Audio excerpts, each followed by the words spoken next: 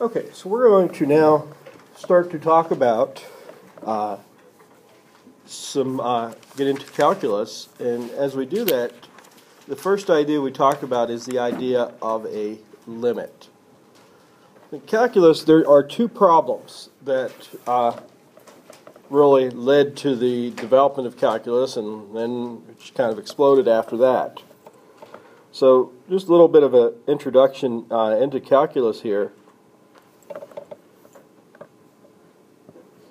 Calculus really centers itself on two questions.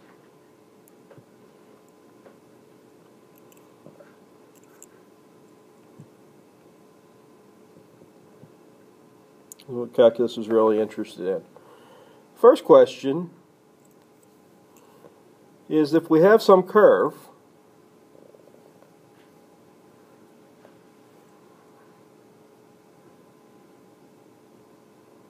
so. We ask the question, how fast is the curve changing at a given point in time? In other words, if we go to this point on the curve, we ask, well, how fast is the curve changing at that point in time? Uh, see, for a straight line, we can talk about slope because a line goes up at a constant rate. But we can't really talk about slope for a curve because a curve uh, is always going up at a different rate. But what we can do so that we can actually talk about slope is we say, well, let's look at the line, the straight line. Ah, oops. Let me undo that guy. Not quite going the way I want it to. Let's look at the straight line that's moving in the same direction as the graph. Okay. At that point in time. And then I can look at the line and say, hey, it's a line. I can talk about its slope.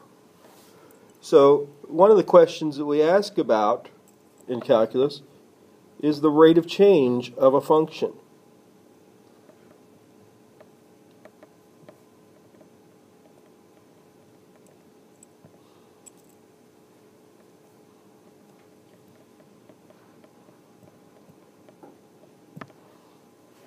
Rate of change of a function. Okay.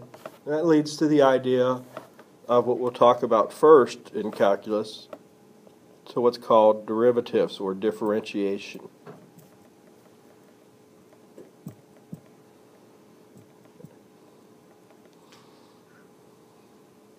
So that's the one, one problem that calculus kind of centers around. And then the other problem that it centers around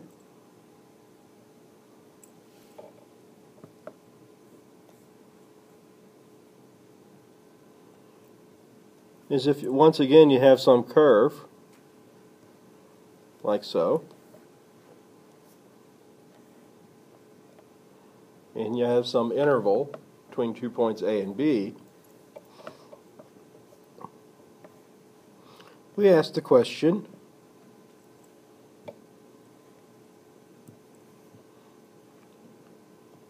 about how much area is inside the region between the curve and the x-axis.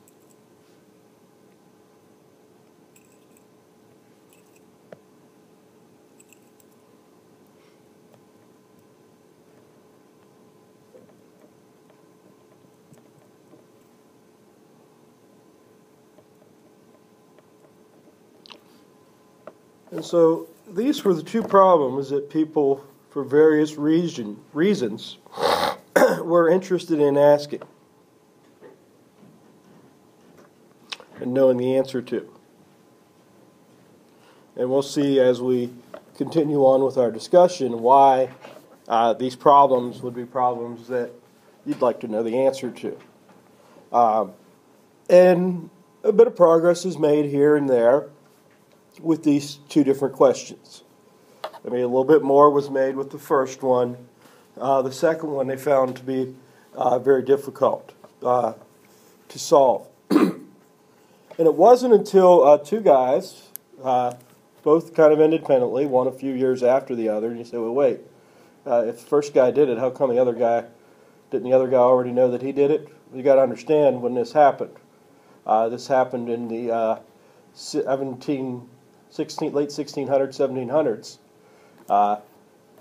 Things didn't immediately propagate out to the whole world. Right? Things took a while. So the first guy, uh, Newton, uh, was a Brit. He lived in England, and he kind of, as he discovered it, kind of kept it, you know, under wraps and only shared it with a few people. Then uh, a few years later, a German guy by the name of Leibniz uh, also discovered it, and that was that these two problems, seemingly very different, are actually intimately related. They're very close to being like opposites. Uh, and with that, they were able to go forward and you know solve lots of problems. Now, in doing that, they were doing strange stuff. Um, and they were probably a little uh, uncertain about it, but it kept giving right answers. They were doing weird things like taking 0 divided by 0. You can't divide 0 by 0. You can take 5 divided by 5. You can't take 0 divided by 0. And then they were doing other things like, well, what's 0 times infinity? Uh, you say, well, how can I do 0 times infinity? I can do 1 times infinity, that's infinity. I can do 5 times infinity, that's infinity. I take a half times infinity, that's infinity. But zero times infinity? You know, what the heck's that going to be? Uh, so they're doing strange things like that, and everybody just kept doing it for about 100, 200 years. Because they kept getting uh, results that, that worked, that made sense. So they didn't understand why it worked, but it worked, so they just kept doing it. And it wasn't really until the mid uh, 1800s uh, when a guy called Riemann came, came along and said, you know what? Okay, there's got to be a reason this stuff works. Uh, we're doing stuff that we really know we shouldn't be doing, and it's working. Uh, so why is it working? and so Riemann went back and developed the idea of limits that formalized calculus and actually legitimized that it, yeah, it did work It wasn't just that it kept giving right answers, it actually does legitimately work. And so, to discuss these two problems uh, and anything about calculus, we first have to discuss uh, the idea of a limit. We actually first have to discuss uh, the idea of a limit.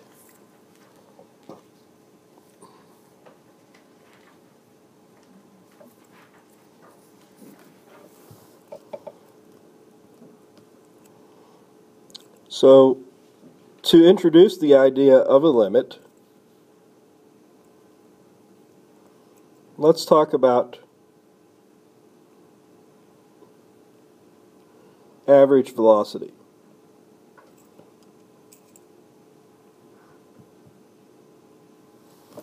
Let's talk about average velocity.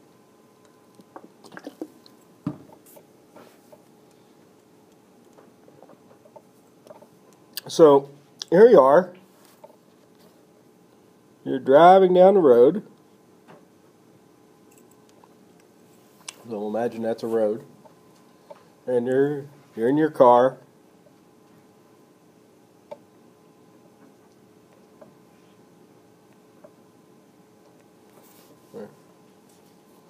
driving a Beetle, of course, or a punch buggy, you know. Uh, so you're driving down the car road, and you're all happy and excited because you got your new uh, radar detector. Like, oh, cops will never catch me. Cops will never catch me. Um, is that the only way that they can judge your speed? How else can they judge your speed? The lines on the road. What do you mean lines on the road? There's the white lines that come out. There's, there's supposed to be a certain number of seconds in between each. Yeah, so what they do, and this is how you used to judge speed back before you got fancy things like uh, radar guns and then the laser guns and all the other stuff, uh, is they would have marks, some marked place on the road, and in another marked place a certain time later. And the cop's kind of sitting off to the side here. Uh,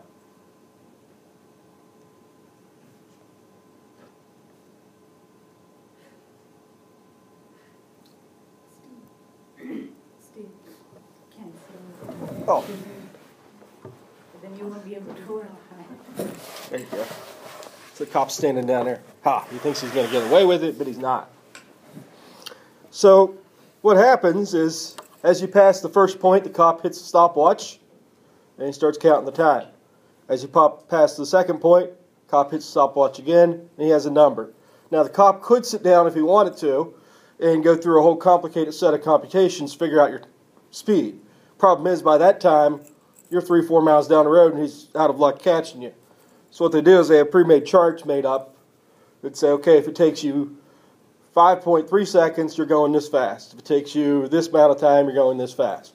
And then he gets your speed that way, and then he can, you know, either hop in his car, or if he has his buddy up the street a little bit further, radios him up, says, hey, pull that guy over. He was going 78 miles an hour in a 50 mile zone, and, and so on and so on. And so what he's computing is your average velocity. What he's computing is your average velocity. Now, say we were interested in knowing your speed at exactly, uh, let's say, this point in time.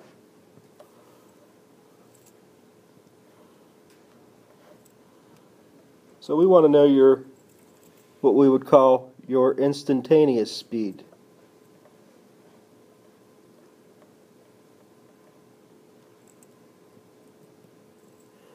Well, what we've computed here is an average.